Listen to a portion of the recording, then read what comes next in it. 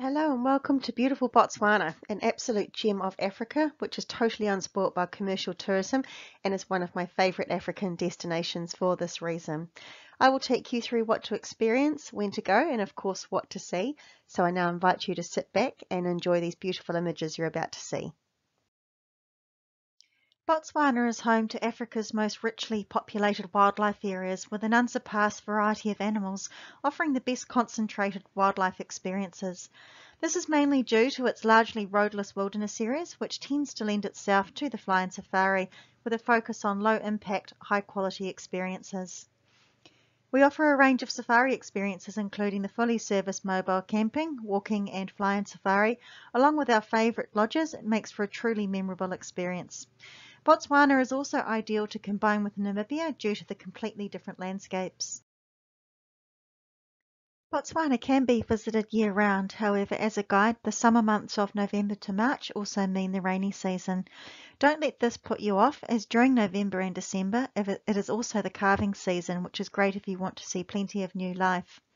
It's also a fabulous time for birders with the Okavango coming alive with over 400 species of birds. The winter season is from May through to August, with the days being sunny and cool to warm, and it's also the dry season when there is hardly any rainfall. So generally the best time to visit the Okavango Delta is from June through to October when the water levels are lower and the birds, mammals and big game congregate around the waterholes and the channels to drink. Travelling in the in-between periods of April to May or November is often recommended as it's outside of the high and more expensive season. The country is around the same size as France and getting to Botswana is easy with direct flights from Johannesburg into Maun, which is the gateway into the Okavango Delta. Now for travellers starting their journey in Victoria Falls, it's an easy two-hour road transfer from either the Zimbabwean or the Zambian side of the falls. The Central Kalahari Game Reserve that you can see um, down in the middle there, uh, this offers terrific game viewing including desert species such as the meerkats and of course the scenery down here is stunning with endless vistas and beautiful starry skies. The country's highlights are definitely in the remote wilderness areas of the Okavango Delta, Chobe National Park, Savuti and the Kalahari. If you love elephants, then I promise you will not be disappointed by Chobe National Park. This has one of the highest concentrations of elephants anywhere in Africa. It's also a really great combination to do with Victoria Falls because it's only a two hour drive away, so it's nice and easy to get to. Now, because Chobe's a national park, it can get a little bit busy with day trippers. So um, if you do want to spend a bit of time here, then I would suggest spending the money, stay in the national park, because once all the day trippers have gone, you've got the park to yourself, and it's really nice to be able to enjoy the wildlife without the crowds around. Other wildlife you can expect to see within Chobe, um, you'll see zebras, you'll see monkeys. At sunset we saw a family of lions just lazing by the river and that made for some spectacular photos. Do watch out for the monkeys though because they are inclined to steal whatever they can from you. Um, but one of the real highlights of Chobe National Park was the bird life there and you can go out on a cruise and you can do special photography safaris looking for giant kingfishers. Um, you can go and spot the um, eagles and also the lilac-breasted rollers. Huge amount of bird life. One of the most incredible places we stayed in Botswana um, was a camp called Chobe Under Canvas, which is operated by &Beyond. This is a mobile camp that moves to different locations. I think it's every week or so. And as you can see by looking at this picture, let's be honest, this isn't camping. Um, it was just incredible. We walked into our tent and we found there was a lovely big double bed parked in there. There was a um, hot bucket shower out the back. There was a beautiful bathroom area set up with a flush toilet. Please do not ask me the logistics of the toilet because I don't quite know how it works, but there was a flush toilet in our tent and uh, the meals that they served were just incredible. And this is a really lovely experience if you love the idea of camping, but you do want all the um, all the trimmings to go with it.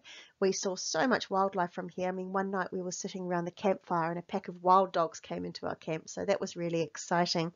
I'd just be careful staying here between December through to March as it is very hot and of course there is no air conditioning in these tents. So we did find the heat a little bit much, but my goodness, it was worth it for this experience. Now, if camping's not your thing, please do not worry because there is one other option if you would like to stay in Chobe National Park. That is the beautiful Chobe Game Lodge, um, which is ideal because it has 44 beautifully designed rooms. They have got air conditioning, there is ensuite bathrooms, and this lovely large terrace which faces the Chobe River uh, where you can watch the elephants at play at sunset. So if you're not a fan of camping, you want more of a solid building to sleep in, then you have got this option.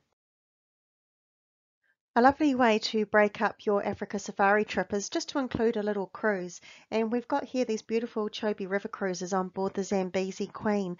Um, they offer between two to four night itineraries that traverse around 25 to 50 kilometres of the Chobe River.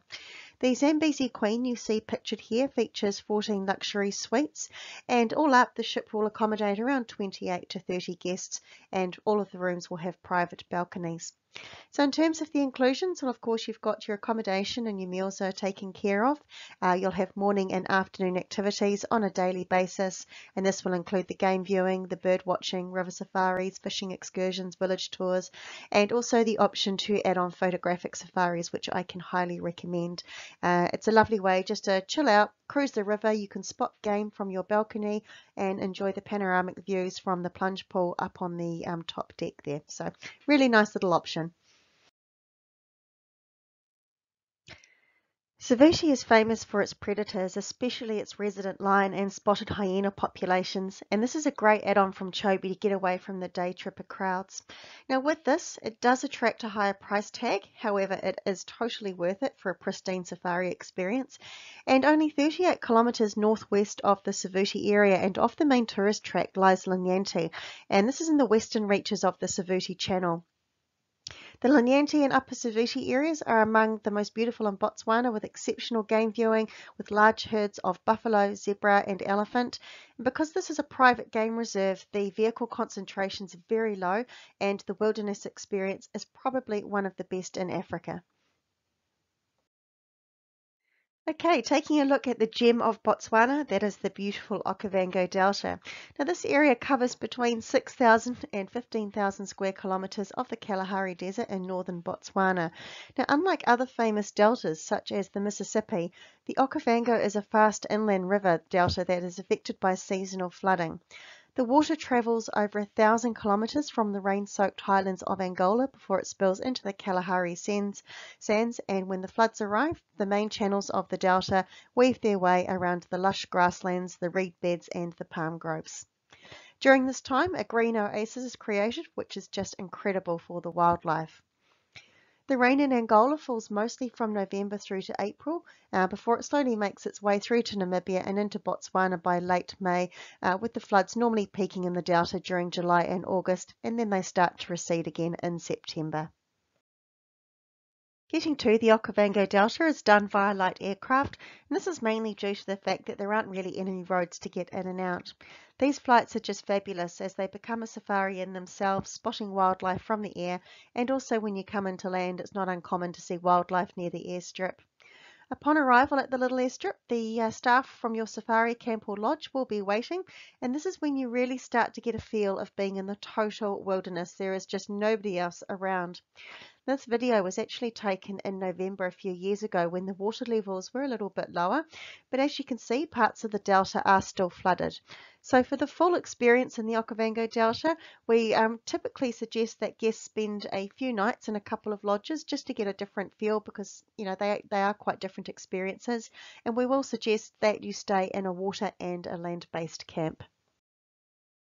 So pictured here is an example of a water and a land-based camp. So as you can see, the water camp is literally surrounded by water, where the land-based camp um, is still near the water, but it's just not completely surrounded by it. So we would suggest doing both to enhance your experience.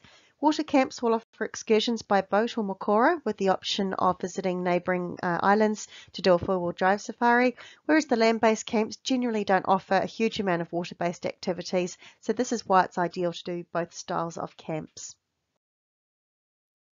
When the water levels are suitable in the delta, you'll find there are more excursions available, such as the Mokoro trips taken in the dugout canoes. This is such a peaceful way to enjoy the wilderness while being quietly poled along in the water. Other activities include boating, which offers a different way to do your safaris. And if you like fishing, some of the lodges will offer catch and release fishing trips, which is really good fun.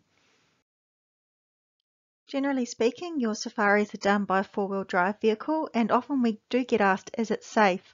Um, generally, the wildlife will look at the vehicle as one whole mass, so guests are advised not to stand up, not to be uh, loud, so this avoids irritating the wildlife and of course the guides are highly trained to make sure that the guests are safe at all times. I've included a couple of snaps here from my trip when I went in November a couple of years ago because we saw so much wildlife and that was supposed to be during the lower season and we were absolutely blown away with what we saw. And while it's not large volumes of wildlife at once like what you might see up in Eastern Africa, it was just incredible to be in such pristine environments, to see a family of cheetahs. We saw hundreds of hippos, we saw lion families, we saw amazing bird life. So don't be too put off by traveling in the lower season because you can still see some spectacular wildlife there's always such an emphasis on the wildlife in Africa, and often people forget just how incredible the bird life is there. And in the Delta, uh, there are excellent opportunities to spot over 400 different species of birds. So this will include things such as the African fish eagle, the lilac-breasted roller, the firefinch, the southern yellow and the red-bill hornbill, um, the black-crowned night heron, there's the jacana bird, and that's the one you see pictured in the top right-hand corner. So the jacana is nicknamed the Jesus bird because the way that its feet are splayed means it can literally dance across the water. The guides will get an idea as to what you're looking for, so they'll keep an eye out for these birds for you, but they'll also teach you how to take photographs of the bird life. For a change of scenery, the Makgadikgadi Pans is located about 160 kilometres uh, east of Maun, with the easiest way to get there by small plane to the airstrip of one of the lodges. The reserve is a salt pan with an area of 3,900 square kilometres and one of the largest salt flats in the world. And the best time to visit this area really depends on what type of experience you're looking for. The pans themselves are only accessible during the dry season from March through to October when the glaring white surface spreads so far you can almost see the curvature of the earth. And this is the winter season with sunny days, however the nights get extremely cold. Between August through to November, when the wildebeest and the zebras migrate slowly towards the Boteti River in anticipation of rains, you'll find around October time is generally the hottest months. Uh, the wet summer season of November through to March, the roads become impossible, so the pans usually retain water into April or May, which is great for seeing birding and also game viewing. So the main objective in visiting the Makgadikgadi um, area is not to view the game life, but to experience the more remote, vast scenery and also a feeling of being in total isolation. So if you love that um, sort of scenery, you love photography, this is a fabulous area to add on to the Okavango Delta. The Makgadikgadi region does have its fair share of big game in form of predators such as lions and the larger herbivores such as zebras and wildebeest, but it's also the lesser known creatures such as the meerkats which attract a lot of visitors to this area. The Kalahari Desert is a large basin-like plain of the interior plateau of southern Africa. It occupies almost all of Botswana, the third eastern part of Namibia, and the northernmost part of the Northern Cape Province in South Africa, so it covers a big area. Arid adapted game includes the springbok, the oryx, the wildebeest, kudu and steenboks, and the Kalahari is also home to desert species such as the meerkat, the bat-eared fox, uh, Cape fox and the brown hyena. One of the more unexpected Kalahari desert facts is that all three African big cats can be found here, including the cheetah, leopard, and the famous, famous black-maned Kalahari lions. So there's some more terrific wildlife uh, viewing to be had here. So that is just a little snapshot of beautiful Botswana. It really is a pristine safari destination and for that reason it does attract a slightly higher price tag but from my own experience I can only assure you that it is completely worth it. So do head over to worldjourneys.co.nz for more inspiration on Botswana.